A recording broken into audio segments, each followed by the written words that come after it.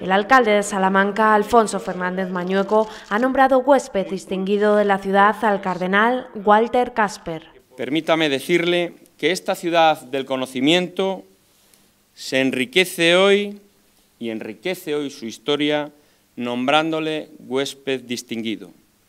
Muchísimas gracias por aceptar este reconocimiento y por unir su saber al de la ciudad de Salamanca una historia escrita sobre ese gran libro de piedra que es Salamanca. Sabemos que nuestro patrimonio histórico-artístico es una de nuestras principales señas de identidad y lo protegemos y conservamos para convertirlo también en una fuente de creación de empleo y de oportunidades.